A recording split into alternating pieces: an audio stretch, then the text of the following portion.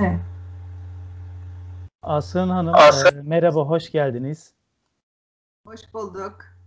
Tekrar konuk oldunuz, teşekkür ederim. Nasılsınız? İyiyim. Teşekkür ederim. Sağ olun. Sağlığımıza duacıyız. Sağ olun, Kendi teşekkür ederim. Sizler de Önce- iyisiniz inşallah. Sağ olun, çok teşekkür ederim. Biz de iyiyiz. Biz de sağlığınıza duacıyız. E, öncelikle ilgi ve alakanız için teşekkür ederim. Hayır, Zorlu bir maratonun son adımı olan, yorucu ve özellikle de bu sene daha da zor süreçte gerçekleşen sözlü sınavını geride bıraktık. Evet. Bu arada kazananları tekrardan tebrik ediyorum. Ee, tabii sınavın akabinde sözlü sınavla ilgili sayfaya gelen mesajlar olsun, sözlü olarak gelen sorular olsun yine kafada birçok soru işaretleri var. Yine bu soru işaretlerini umuyorum ki sizinle kaldıracağız. Ee, ilk, ilk soru olarak bu yılki sözlü sınavın genel özeti olarak ne söylemek istersiniz? Bu yılki so- sözlü sınavının e, ya önce konuşmama başlamadan önce özellikle bu korona döneminde hayatını yitiren meslektaşlarımıza Allah'tan rahmet diliyorum. Amin. Ailelerine sabırlar diliyorum bu vesileyle. E, gerçekten zor bir süreçten geçiyoruz. E, biz de komisyon olarak açıkçası 134 kişiyi mülakata aldığımız için her ne kadar e, kendi çapımızda korumamızı da yaptıysak da e, bir tedirgin olmadık değil. Ondan sonra e, yaklaşık bir hafta 10 günü evde geçirdik. Kendi kendimize bir karantina uygulayalım olur da bir pozitiflik durumu olur diye ama çok şükür herhangi bir sıkıntı olmadan hiçbir komisyon üyesinde bu olma, yaşanmadan atlatabildik. E, sorunuza cevap vermem gerekirse de şöyle bu komisyon farklı bir komisyondu. E, iki yıldır biliyorsunuz biz risk yönetimine geçtik daire olarak. Geçen sene e, ki daire başkanımız bu sene değişti. Genel müdürümüz değişti. Geçen sene e, Gümrükler Genel Müdürlüğü'nden daha ağırlıklı katılım olmuştu komisyona. Bu sene risk yönetiminden daha ağırlıklı katılım oldu. Gümrükler Genel Müdürlüğü'nden Filiz Hanım vardı. Dernek başkanı olarak ben vardım. Diğer üç kişi komisyon başkanımız ve iki daire başkanımız da risk yönetimindendi. E, ancak benim gördüğüm e, ve üçüncü komisyon olmanın o benim için olması nedeniyle de bir kere çok pozitif bir komisyondu. E, çok yapıcıydı ve o yönden de e, bir pozitif e, farklılık var diyebilirim. Geçen sene 440 kişiydi, süre yetmedi. Çoğu adaya e, sıkıştırmak zorunda kalmıştık daha hızlı cevaplaması için. Bu sefer hiçbir aday böyle bir stres yaşamadı. Soruyu verdik, adayın cevaplamasını bekledik. Büyük bir sabırla, hiç müdahale olmadan. Hatta ara ara soruyu anladın değil mi? Ee, sormak istediğin bir şey var mı gibi e, böyle tereddütlü olduğumuz, anlamadığını düşündüğümüz adaylara da nazik bir şekilde sorduk. Giren adaylar da bunun farkındadırlar zaten. Yani pozitif bir e, kuruldu. E, fakat ben şunu gözlemledim ve üzüldüm açıkçası. Şimdi e, yazılı sınavın davasından gelen arkadaşlar da ki kendi söylemlerini ben söylüyorum. Çoğu bu şekilde ifade etti. Biz davadan geldiğimiz için kazanamayacağımız bize söylendi. Ve bu, bundan dolayı çalışılmamışlık vardı işin açıkçası. Bunu biz fark ediyorduk. E, bir de koronadan dolayı hani ne zaman olacağı belli değil bu sınavın. Bir psikolojik olarak da hazır değildi arkadaşlar. Hazırlanamamışlar yani o psikolojik ağırlıktan dolayı. E, kimi dedi ki biz e, işte şirkette e, yarı yarıya çalışıyoruz. Öyle olunca da iş yükü arttı. Çalışmaya fırsatımız olmadı. Kimi dedi ki ya zaten bana dediler ki sen davadan geliyorsun zaten kazanamazsın neye uğraşacaksın. Ee, mesela diğer yazılı sınavdan gelen 35 arkadaş zaten bu sınavı kazanmışız. Yazılı sınavı, zor sınavı. Hani sözlüğü kesin alırız gibi bir e, onlarda da bir yaklaşım vardı. Bunların hiç e, ne davayla ilgili bir ön yargı oluştu. Ne e, birinci işte Milli Eğitim Bakanlığı'nın sınavından gelmiş, yok işte Ankara Üniversitesi'nin sınavından gelmiş gibi bir ön yargı oluştu. Tamamıyla bilgi ölçüldü. Ve e, bir gene bir pozitif yaklaşımla e, sınava giren 134 kişiden yani bunu hani sınava giren arkadaşlara da söyleseniz hak vereceklerdir. Çünkü ben tek tek kime ne soruldu, ne cevap verdi bunların notunu aldığım için daha rahat konuşabiliyorum. 85 kişi değil yani neredeyse yarı yarıya kazanma olasılığı olurdu daha sert bir komisyonda. Ee, sorularımız gayet anlaşılır. Ee, konuyu bilen, bu işin içinde yoğrulmuş kişiler tarafından e, analitik düşünceyle yorum yapılabilecek sorulardı. Liyakata çok önem verdik. Duruş, tarz, davranış ve e, nasıl söyleyeyim? Yani bir müşteri olarak gitmişsiniz karşınızda gümrük müşaviri. Size güven veriyor mu? Buna çok baktık. Belki çok bilgili ama hiç kendini ifade edemeyen arkadaşlar vardı. Bunlar önemli konular. Ee, kendini ifade edemiyorsa yani hani meslektaş olarak e, yani hani olur mu olmaz mı? E, sorulara da cevap veremiyor. E, o zaman ne yapacaksınız? Hani çok iyi bir insan olabilir ya da camiada çok iyi tanınıyordur, çok bilgili diye biliniyordur ama size orada e, doğru cevapları vermiyorsa yapabileceğim bir şey yok. Ben 15-20 dakikada insanları yani komisyon olarak söylüyorum değerlendirmeye çalışıyoruz. Bilgilerini öğrenmeye çalışıyoruz. Heyecan faktörünü çok düşündük. Heyecanlı olup soruyu anlayamayanlar vardı. Yanlış anlayanlar vardı. Çünkü cevaplarını anlayabiliyorduk. Hemen onlara müdahale ediyorduk. Bak sen böyle anladın ama aslında e, sorduğumuz soru bu deyince aa evet tamam deniyordu. Hesaplamalar çok basitti. Orada gerçekten çok basit hatalar yapıldı. Mesela gümrük kıymeti hesaplamasına eşyanın sif, sif kıymeti eklenmedi. Böyle adaylarımız oldu. Vergileri ekliyor. Gümrük kıymeti bu. İki kere, üç kere soruyoruz. Emin misin? Bak bir daha soruya bak bir oku. Ben mesela birkaç kere müdahale ettim. O arkadaşlar kendilerini bilirler. Şu anda ismini hatırlamıyorum da. Ee, ya sen bir soruyu okusana bir daha. Tam olarak oku. Acaba ne demek istiyor soru gibi böyle e, şeylerim de oldu yani. Müdahalelerimiz de oldu. Ama sorularımız gerçekten hani öyle e, çok dip köşe kenar sorular değildi. Hakkaniyet. Peki, peki puanlamalar nasıl yapılmaktadır? Puanlamalar şöyle. Beş tane komisyon üyesi var ve bu sene gerçekten çok puanlama sistemimiz de çok güzeldi. Geçen sene de güzeldi ama geçen sene dediğim gibi çok kalabalıktı gerçekten. Hem sınava girenler açısından hem komisyon açısından çok yıpratıcı bir süreçti. Bu sene puanlamayı e, soruya verilen cevap üzerinden yaptık. Yani bir soru soruldu tek tek yazdık. Aday bunun yüzde yirmi beşini cevapladı. Yüzde yetmişini cevapladı. Yüzde doksanını cevapladı gibi. E, tek tek yazdık. Sonra işte beş soruda kaçını cevaplamış, yüzde kaçlarını cevaplamış diye kendi içimizde bir hesaplama yaptık. Tabii ki e, yönetmelik gereği e, bunlar tutanakta ya da yazılı olarak olmayan konular. O anda komisyonun geliştirdiği puanlama yöntemleri. E, bunu anlatıyorum çünkü puanlama yöntemleri çok hakkaniyetli oldu. Bir de e, şöyle bir şey var. Bir referans olayları oluyor işin açıkçası ama inanın bunların hiçbirine gerek yok. Çünkü o referansların komisyon açısından bir önemi de yok. Bunu çok net söyleyebilirim. E, çok kuvvetli tabiri caizse referansı olup da geçeme başarısız olanlar var. Biz referans istemiyoruz, bilgi istiyoruz.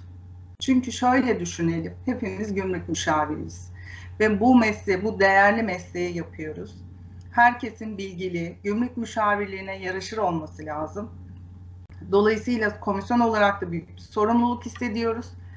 E, bilgisiyle, duruşuyla, tavrıyla gümrük müşavirliğine yakışmayacak birinin müşavir olmasını sağlamak bizim yapabileceğimiz en büyük haksızlık olur. Şu ana kadar girdiğim üç komisyonda da ne referansların ne dava konularının kesinlikle kesinlikle ön yargıya yol açmadığını söyleyebilirim. İşte bazı arkadaşlar işte benim sosyal medyada şöyle bir paylaşımım oldu. Acaba ondan mı etkilenildi gibi bir düşünceye de sahip olmuşlar. Asla bakılmadı. Bir de e, şey. ben şunu da duydum. Hani ilk hakkım olduğu için vermediler. Yok. E, ilk hakkı olup da kazanan arkadaşlar da var. Bilgisi iyiyse bir ister birinci hakkı olsun, ister üçüncü hakkı olsun. Bu bizi çok ilgilendiren bir konu değil. Ama şöyle oldu. Bilgi yeterli değil. Bilgi yeterli değil ama bilmediğinin de farkında değil. Bilmediğini de bilmiyor. E, birinci hakkı biz diyoruz ki bunu e, bir, bu arkadaşın biraz daha çalışması lazım. Mesela geçen sene sözlü sınava girip kaybedip sonra yazılı da kazanıp gelen o 35 kişinin içinde olan arkadaşlar vardı. Birkaç arkadaş. Mesela onlardan biri dedi ki ya dedi çok haklıymışsınız dedi. Ben geçen sene sorulara cevap verdiğimi sanıyordum dedi. Ama vermemişim dedi. Çünkü bu girdiği sınavda gördü. Bilinçli cevap vermenin. Yani arkadaşlara bir soru soruluyor. O soru akılda kalıyor. Ama verdiği cevap akılda kalmıyor. Çıkışta bana diyor bunu sordular diyor. Cevabı da bu. E ben doğru cevapladım diyor sınavda sorduğumuz sorunun o kadar dışında bir takım şeyler söylüyor ki e, öyle olunca da e, şey yapıyorsunuz. Biz dinliyoruz yani. Dinliyoruz. Hatta ara ara soruyoruz. Emin misiniz? Ben adayların gözlerine bakmaya çalışıyorum. Hani emin misin? Yani çok bar, farklı bir dünyadasın. Gel bu tarafa diyesim var ama e, o kadar da bir şey diyemiyorum tabii ki. Evet. E, böyle kendince bir şeyler anlatıyor ve o anlattıklarının tamamının da doğru olduğunu düşünüyor. O sınav heyecanıyla muhtemelen. E, ama bunlar doğru şeyler değil. Yani sorularda ben size şöyle söyleyeyim. Mesela gümrük kontrolü altında işleme rejimiyle e, antrepoda elleçleme arasında nasıl bir fark olabilir? Biri nedir, biri nedir? Bunu sorduk. Yani şimdi bir müşavir bunu bilmeli mi, bilmemeli mi? Ya da e, dahilde işleme rejimi ile geçici ithalat rejimi arasındaki farkları kabaca sayın, söyleyiniz. Mesela arkadaşlar şeye çok takıldı. Uygulama sorusuna. O bilgi programı çıkaralım işte. Evet onu da soracağım. Soracaktım. O da ilk defa bu sene uygulandı sanırım. Evet. Aslında bakanlığımızın amacı böyle tamamıyla uygulamaya yönelik. Ee, ve bilgiyi ölçmeye e, e, ölç, bilgiyi ölçme amaçlı bir sınav e, yapmak. Belki ileriki dönemlerde bu daha ağırlıklı olabilir. Kork, korkuldu. Yani programdan korkuldu. Hatta orada biz e, şu uyarıyı yaptık. Bak hangi programı kullanıyorsun? Hani reklam olmasın ama işte bilinen 3-5 program var. Evrim, Mavi, işte Bay Bilgin, Ulukov falan. Ya onların ekranları daha karışık inanın. Bilge'nin ekranı o kadar karışık değil. Yani bu e, böyle korkulacak bir şey değil. Mesela bilen arkadaşlar, e, birkaç arkadaş şöyle yaptı. Oturdular bilgisayarın başına. Dediler ki ya bir dakika müsaade edin. Bir, bir programa şöyle bir bakalım. Hani nedir ne değildir, nereden ne giriliyordur. Bir bakabilir miyim? Tabii ki dedik. Baktılar işte girdiler ama e, baktık ki şey yok e, işin açıkçası bir korku, endişe oldu. Hiç o masaya, e, o sandalyeye daha doğrusu kimse oturmak istemedi. E, biz de dedik ki bunu e, şeye katmayalım, değerlendirmeye. Çünkü haksızlık olacaktı. E, sadece baktık. Bilen bildi. Yani hem sahada hem masa başında gümrüğün her konusuna hakim arkadaşlar zaten çok rahatlıkla yaptılar. Anladığım Ama, kadarıyla e, siz onları puanlamaya katmadınız. Doğru mu? Evet Anladım. evet. Hı. Doğru, doğru doğru. Ama bundan Puanlama... sonraki bundan sonraki süreçlerde katılacak mı? Yani bu uygulamalı sınav Tabii devam edecek mi? Ben e, düşünüyorum. Hani alınmış bir karar yok. Ama ben e, bunun edeceğini düşünüyorum. Olması da gereken bu. Yani e, gerçekten uygulamayı biliyor muyuz? Yani buradaki amaç yazılım programı değil amaç bir beyannamede hangi bilginin nereye gireceği. Yani diyor ki orada bilmem ne muafiyet kodunu girip vergileri tahakkuk ettirin. Sorulan soru bu. Sen hmm. muafiyet kodunu gireceğin bölümü bulacaksın sadece. Ya yazılım programlarında ne olacak? Birinde A tuşuna basıyorsan diğerinde B tuşuna basarsın. Ki bu Bilge programı da çok böyle ultra karışık falan bir ekranı olan program değil. Ama tabii sınav heyecanı, arkadaşlar onu çok e, o anda idrak edemediler de. E, heyecanda eller titriyor ki klavyeye nasıl basacaklar. Bir de çok e, birdenbire spontan gelişen bir konuydu. Evet. Dolayısıyla e, biz onu gerçi adaylara o anda belki şey yapılmadı, deklare edildi de aslında söylendi bazı adaylara. Hani bundan endişelenmenize gerek yok. Çok endişelenenlere. Sonra baktık ki bu olmuyor. Bu komisyon olarak biz bunu şey yapalım. Devam ettirmeyelim. Hakkaniyet yönünden her yani ben gayet vicdanen o rahatlık içerisindeyim. Komisyonumuz gayet iyiydi. Ve arkadaşlarımızı pozitif yönde e, destekleyerek müşavir olmaları sağlandı. İnanın başka daha katı bir komisyon olsaydı dediğim gibi bu kazanan sayısı yarıya düşmüş olurdu. Ve e, şunu da e, şu da bir gerçek. E, yazılı olduğu dönemde bu sınavların yazılı olduğu dönemde başarı oranları yüzde 20-30 civarındaydı. Şimdi geçen sene yüzde 51, ondan önce yüzde 80'lerdeydi. Sonra yüzde 51, şimdi yüzde 64-65. Yani gene e, gayet iyi bir başarı oranı. Kendisine haksızlık yapıldığını düşünen birçok arkadaşımız var. Ee, bu tür iddialara karşı sınav anında bir kamera kaydı yapılmamaktadır. Bunun ha. sebebi yani onu biz baştan söyledik. Biz dernekler olarak biliyorsunuz sözlü sınavın kaldırılmasını da istemiştik. Bu konuda hukuki gelişimlerimiz de olmuştu.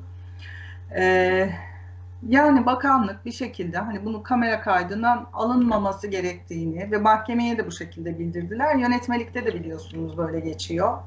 Evet. Ee, sorular soruluyor. Tutanak tutanağımız var. Ee, sorulan sorularla ilgili. Tabii onların hepsi dairede. Hani onlar e, daha detaylı biliyorlar. Bir şekilde bu istenmiyor. Hani ben geçmiş dönem sözlü sınavlarına da dernek genel sekreteriyken katıldığımda o zaman kamera kayıtları vardı. Kamera kaydı da yapılıyordu. Ama şimdiki dönemde yapılmıyor. E tabi dernek başkanı olarak ben de orada gözlemci sıfatında duruyorum. Hani bir haksızlık olmasın, e, herhangi bir şaibeye yol açılmasın diye. Benim vazifem de o olduğu için e, tek tek arkadaşların e, sorulan soruları, alınan cevapları, işte komisyonun görüşlerini bir sekreter gibi e, yazıyorum kendimce. E, dolayısıyla bir şey yok. Yani gerçekten arkadaşların biraz daha mı sahada olmaları lazım ya da biraz daha mı e, çok olayın içinde olmaları lazım? E, o tam bilmiyorum ama sadece kitap okuyup çalışmakla da bu işler olmuyor. Uygulamayla birleştirmek gerekiyor. Öyle birleştiren arkadaşların çok da başarılı olduğunu gördük işin açıkçası. Mesela bir aday vardı, o kendini bilir. Ben şimdi tabii isim olarak falan hiç hatırlamıyorum da çok takdir ettim, çok beğendim. Şöyle gayet güvenli bir şekilde geldi. Bağlantı koptu gibi sanki. Şu an sesiniz geliyor.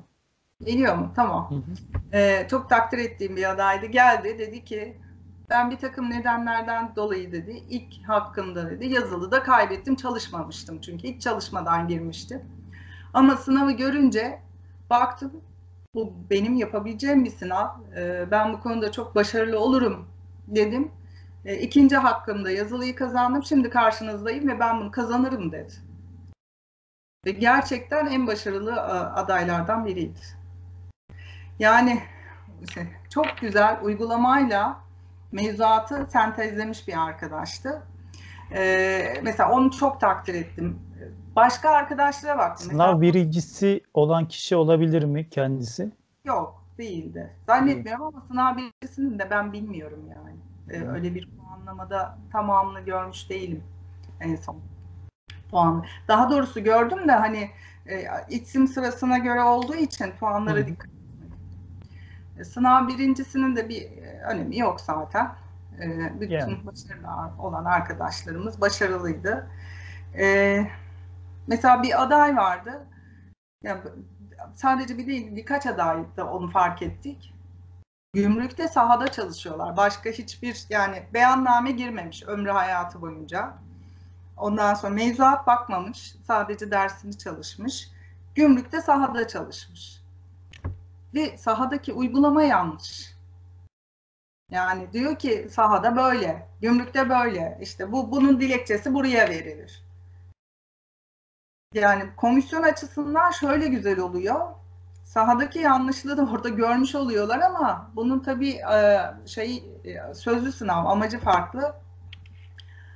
Dolayısıyla biz orada şeyi de gördük. Yani arkadaşların aslında çok kulaktan dolma bazı işlemlerde e, kulaktan dolma bir takım işlemler yaptıklarını da gördük. Yanlışları da gördük.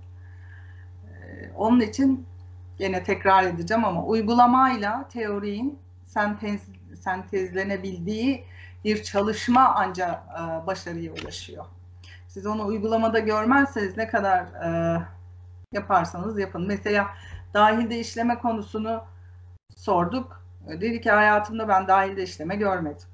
Ee, yani bu mesela dahilde işleme soruyorsunuz da bilmiyorum deyince ya bazı adaylar böyle yaptılar. Yani bilmiyorum dedi. Ben bu soruya cevap vermek istemiyorum diyen de oldu. Enteresan bir şekilde. Ee, heyecan yapıp ben artık çıkmak istiyorum diyen de oldu. Şimdi bunlar yaşanıyor ama arkadaşlar hani kazanamayınca haklı olarak aslında ben güzel anlattım ama işte e, yok ben davadan geldim de böyle oldu. Yok işte referansım yoktu da böyle oldu. Yok şey hiç hiçbir şekilde bunları ben e, doğru Alakası yok diyorsunuz.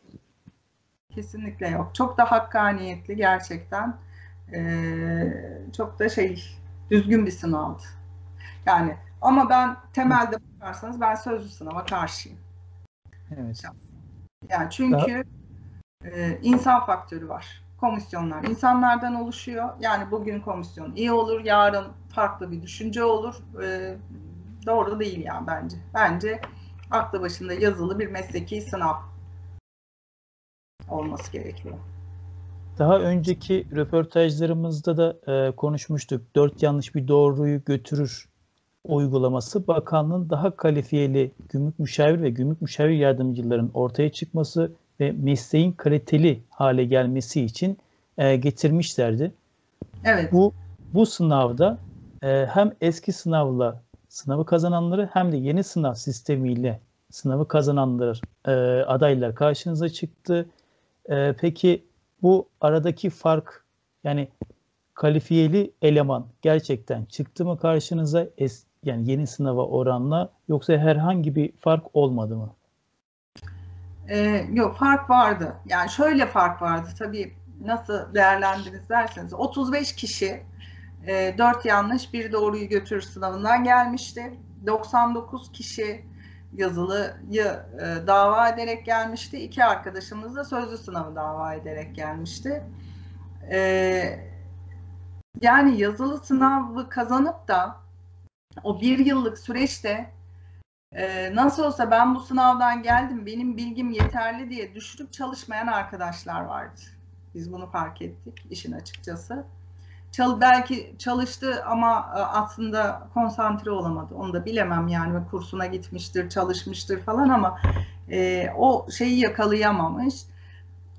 Zaten o sınavdan dolayı e, kazanamayan, yani o, o sınavda gelip de kazanamayan arkadaş sayısı da çok e, fazla değil oranı olarak da. Belki yüzde yirmi civarı herhalde. E, şeyi farklıydı yani hakikaten. E, sorulara cevap vermeleri, bilgileri daha iyiydi yani. Hatta onlara baktık ki hani sorulara güzel cevap veriliyor. Yani daha daha da farklı, daha derin sorular da soruldu. Sadece hani ilk sorularla kalınmadı. Yani bakanlık hedefine doğru aslında İner. bir adım atmış oldu. Evet hatta e, orada talebimizi tekrarladık. E, dedik ki tamam sınavı bakanlığımız yapamıyor olabilir teknik problemlerden dolayı.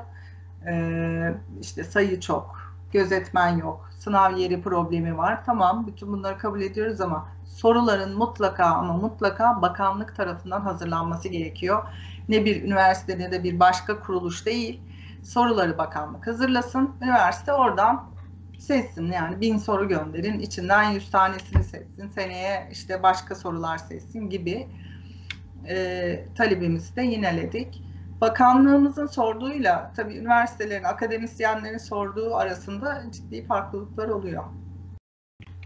Ee, bu cevabınıza karşın şunu anlıyorum. Dört yanlış bir doğruyu götür uygulaması kaldırılmaz, devam eder. Çünkü Devam. hala bu sorular devam ediyor. Hani kaldırılacak mı, kaldırılsın, işte Yok, bir şeyler yapılsın. Bunu şey- unutalım diyorsunuz. Evet konuyu- yani e, şöyle aslında geçen sene de konuştuğumuzda dört yanlış bir doğruyu götürür açık öğretimin sınavlarında da var. Evet. E, Vizesinde, finalinde de var. Artık sistem bu yöne doğru gitmeye başlıyor. Çünkü elemeyi e, çok yapamıyorsunuz. E, dört yanlış bir doğruyu götürmediğinde e, bu niye geldi derseniz Milli Eğitim Bakanlığı sınavında e, tek şık mesela 20 soru tek şık işaret, 30 soru tek şık işaretlenmiş. Yani tesadüfen gelen kişiler var. Ha, atarak. Şimdi bu bir haksızlık oluyor. E, dolayısıyla bunu değerlendirmek için açık öğretim sınavları da öyleydi. Yani işte e, adamın 50 alması gerekiyor. E, ona göre soruları cevaplıyor bildiği emin olduğu soruları. Diğerlerini de tek şık atıyor ki işte 3-5 de oradan gelirse 50'yi geçmiş olacak. Bizde de öyle olmuştu. 60-70 arasında net çıkarıp geri kalanını işte sadece B, C, D neyse şık işaretleyip de oradan da bir 7-8 soruyla gelen e, arkadaşlar vardı. Zaten onun üzerine bu e, sistem geliştirildi. Buradaki bizim en büyük eleştirimiz şuydu. Bunu yapabilirsiniz ama e, hemen sınav öncesi değil. Yani çok önceden, e, aylar öncesinden, yılbaşında bil- bilinseydi hani insanlar da ona göre hazırlanırdı. Gerekçesiyle birlikte sunulsaydı, işte bu gerekçeden dolayı bu getiriliyor denseydi, psikolojik olarak da herkes hazırlanmış olurdu. Yani aklı başında her insanın buna e, hayır diyeceğini de ben düşünmüyorum. E, çünkü siz 60-70 arasında alıyorsunuz ve geri kalanını bilmeden sadece e, böyle istatistiki olarak kazanma ihtimaliyle geliyorsanız aslında e, demek ki meslekle ilgili yaklaşık bir o 30 küsür soruda fikriniz yok. E, bu da doğru bir şey değil yani e, kazanan arkadaşlar açısından. Bu da bir haksızlık olur. Ama sözlü sınavlarda tabii bu çok da fark edilebilen bir konu. E, bundan sonra ben bunu değişeceğini hiç düşünmüyorum. E, zaten en son söylenen hani bu artık bir standart oluştu. E, 100 soru 5 şık, 4 yanlış bir doğruyu götürür şeklinde bir devam olacak. Fazla da vaktinizi alıp sizi yormak istemiyorum. Son bir soruma da geçeceğim. Ee, 2020 yılının ertelenen sınavı 2021 yılının e, Nisan ile Haziran arasında yapılacak diye bir haber dolaşıyor. Bunun gerçeklik payı var mıdır? Bakanlıktan gelen bir haber var mı? Şimdi şöyle, e, biz tabii e, bakan yardımcımızla yaptığımız görüşmede de dernek başkanları olarak e, bu yıl sınavın ertelenmesi hususunda işte pandemiden dolayı e, zaten ertelenmek zorunda kaldı. Çünkü dernek genel kurulları da, sivil toplum kuruluşlarının tüm genel kurulları, odaların falan er, ertelendi. E, dolayısıyla kimseyi riske atmamak gerekiyordu. Bir erteleme söz konusu. Biz o zaman e, talebimiz şöyle oldu. Hani çok aralığa, Kasım'a kalmasın. Yılın ilk 6 ayında mümkünse bu e, yapılsın. Sonuçta yıl içinde tek sınav yapılacak. Ama işte hazır olan arkadaşlar hazırlanır. Bir avantaj da 2021'de e, stajı dolup da e, sınava girecek arkadaşlar da hazırlanmış olur diye. E, o zaman hani ayını da belirterek bunu mutlaka duyuralım. E, bakanlığımız ayını da belirterek bir yazı yazsın diye talebimiz oldu ama bakanlığımız da şöyle dedi. Yani o zaman tabii aşı maşı da gündemde değildi. Ya biz şimdi Mayıs deriz olmaz. Haziran deriz olmaz. Başka bir şey çıkar. Ee, biz 2021 yılı diyelim ama e, hani 2021 yılının bahar ve yaz ayları Nisan değilse bile Mayıs'tan sonra olacak şekilde siz gene hazırlıklarınızı yapın. Ee, 2021 yılında da işte Mart'ta, Nisan'da herhalde e, bu şeyde açıklanmış olur başvurularda. Peki e, şunu söyleyebilir miyiz? Gidişata göre bakıldığı zaman Mart ayında aşıların da e, başlamasıyla birlikte vakalarda çok büyük bir düşüş olursa hatta bitme derecesine gelirse sınav Mayıs, Haziran gibi yapılır mı? Evet, ya en erken Mayıs ayı olur diye düşünüyorum. Benim şahsi görüşüm bu yönde. En erken Mayıs olur. Ama arkadaşlar şimdiden hazırlanmaya başlasınlar. Bir de sınav için çalışmak değil, öğrenmek için çalışmak olsun. Evet, kesinlikle. Ee, sınav için çalışmak farklı bir şey. Ezbere dayalı bir e, çalışma şekli. Bunun kimseye bir faydası yok. Yani ezberleyip sınav kazanılabilir ama e, gerçek hayatta e, bu ezberin kimseye bir faydası olmayacaktır. Öğrenilmeyen bir konuda çok hata yapılır. Ben zaten adaylarımızın hani başarılı olan arkadaşların da her zaman şunu e, tavsiye ediyorum. Allah kazasız belasız e, bir meslek hayatı nasip etsin. Çünkü Evet. atılan imza çok kıymetli. Gerçekten çok kıymetli. Yani biz şunu fark ediyoruz. Aday gelmiş. Niye gümrük müşaviri olmak istiyorsun sorusunu soruyoruz. Yani aldığımız cevaplardan diyoruz ki gümrük müşavirliği yapmayacak. İmza atacak. Yani şimdi e, bu doğru bir şey değil. Adayın kendisi için de doğru değil. Hem meslek için zaten doğru değil de hani adayın kendisi için de doğru değil. Çünkü yarın bir gün e, aynı adayı biz disiplin kurulunda göreceğiz. Yani bu imza bizim çok kıymetli. E, herkese e, dediğim gibi hala hazırda müşavir olanlara, kendime de e, ve yeni e, karne alan arkadaşlarımıza da en büyük duam Allah kazasız belasız bir meslek hayatı nasip etsin. Amin. Çok teşekkür ediyorum. Ee, sorularımıza cevap verdiniz. Ee, eklemek Evet. istediğiniz, söylemek istedikleriniz varsa dinlerim. Ee, Yani şöyle tabii ben e, böyle akşam vakitlerinde hep sizin vaktinizi alıyorum. Yorgun estağfurullah, estağfurullah. bakmayın. E, bir aşıyla ilgili bizim bir yazımız olmuştu bakanlığımızda. Evet, evet. Biraz tepki gördü sanki. ki aldık. Ben onu şöyle açıklamak istiyorum. Ee, biliyorsunuz biz gümrük müşavirleri olarak bir görünmezliğimiz var nedense. Her konuda bir atlanıyoruz. İşte genelgelere eklenmiyoruz vesaire. Evet. Hani bu sefer dedik ki meslek grupları biliyorsunuz dere- derecelendiriliyor. Hani biz de bu dereceye girelim diye bu yazıyı yazmıştık. Ama buradaki amacımız herkes aşı olacak diye değil. Bunu söyleme hakkımız da yok. E, çünkü devletin de yok. Sayın Bakanımız da açıkladı, Sağlık Bakanımız da. Aş- aşı ihtiyari bir konudur. Yani siz çocuğunuzu aşılatmama hakkınız da vardır. Aşıya karşı olan da bir grup var biliyorsunuz.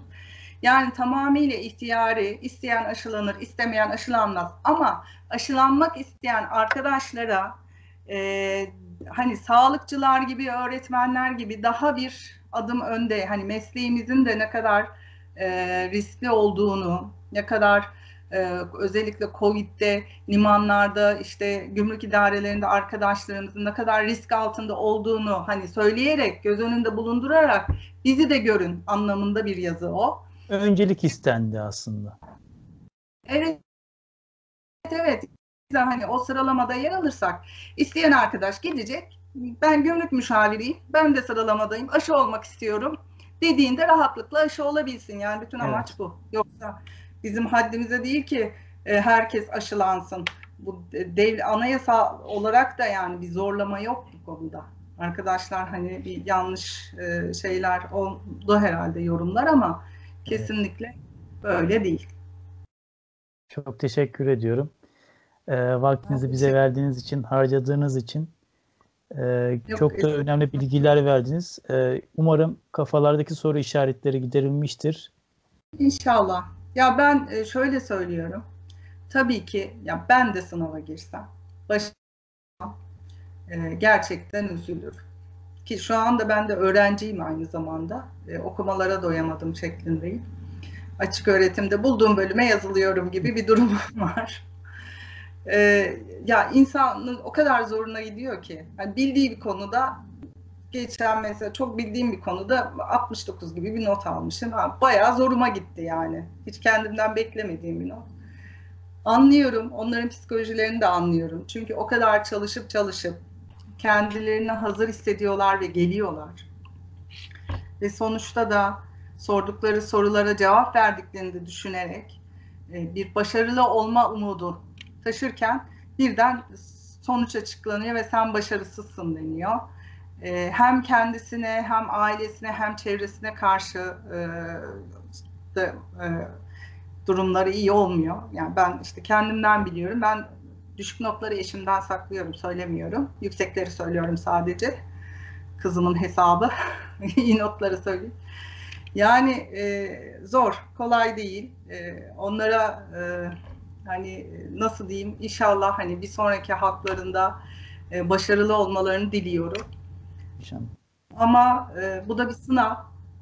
Yani kazanan olacak, kaybeden olacak. Biz elimizden geldiği kadar pozitif düşünerek herhangi bir ön yargı olmaksızın buna kesinlikle emin olabilirsiniz. Ben diyorum ben vicdani rahatlığa çok önem veren bir insanım.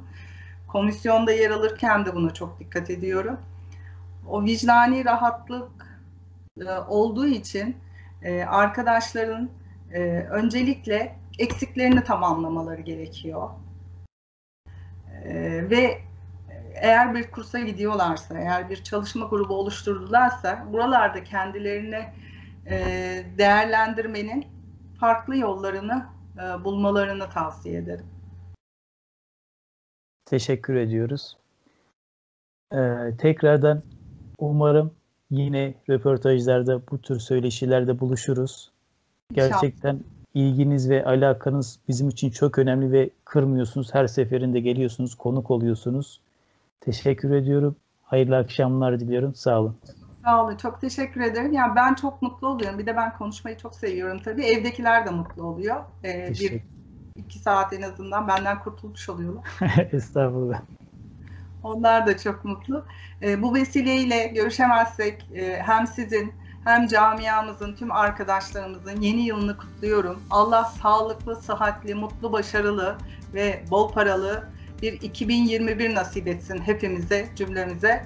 Ee, hiç kimsenin ayağına taş değmesin. Mesleğimiz güzel, mesleğimiz çok önemli. Sevelim, birbirimizi sevelim, mesleğimizi sevelim. Güzel senelere olsun. Teşekkür ederiz size de, ailenizin de, sizin de yeni yılınızı kutluyoruz. Çok teşekkür ederim, sağ olun. Sağ olun, hayırlı akşamlar. İyi akşamlar, görüşürüz.